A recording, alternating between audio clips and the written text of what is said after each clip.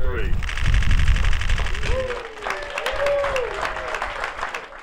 Quartz Mountain State Park Lodge is open and ready for business after undergoing beautiful and important renovations. We're reopening uh, one of the gyms in the state of Oklahoma, Quartz Mountain Lodge. Uh, we've invested over $10 million uh, in southwest Oklahoma in this state park. Uh, our biggest lodge that we have inside the state of Oklahoma. Uh, and, and so this is such an economic driver for southwest Oklahoma has been crazy in a, in a, positive way. You know, the people that used to come out here a long time ago have slowly been making their way back around to kind of check out all the uh, hustle and bustle of the noise making it around.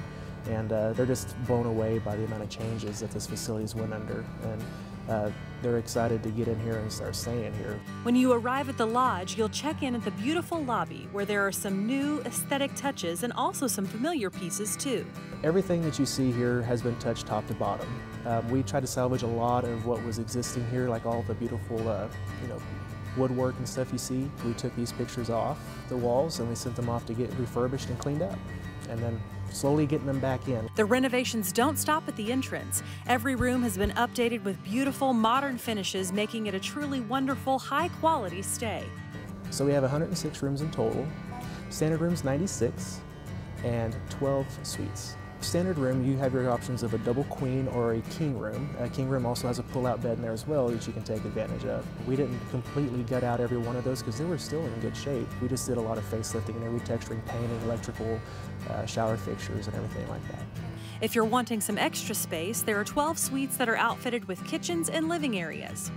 The suites, you know, have walk-in showers, uh, new bedding, uh, new paint. We added some uh, good woodworking in there as well to kind of give a little bit of a visual appearance in there.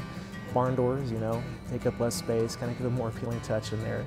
The junior suites to start out with is a king, but it also as well has a pull-out couch as well you can sleep on. So up to four in there. Then you got your suites that have two rooms basically combined into one, where one room's a king and one room's a double queen.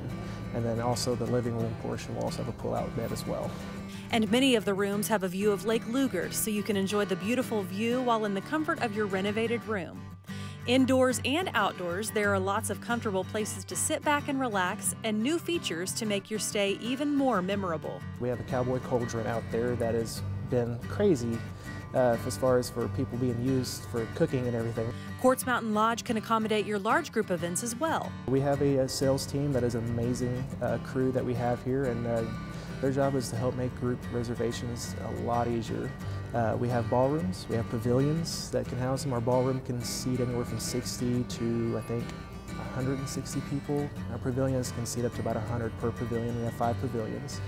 Uh, they also have the option to even rent out the courtyard for special events too. Head to southwest Oklahoma and enjoy the beauty of Quartz Mountain State Park Lodge. The landscapes outside and the renovations inside will provide an unforgettable trip.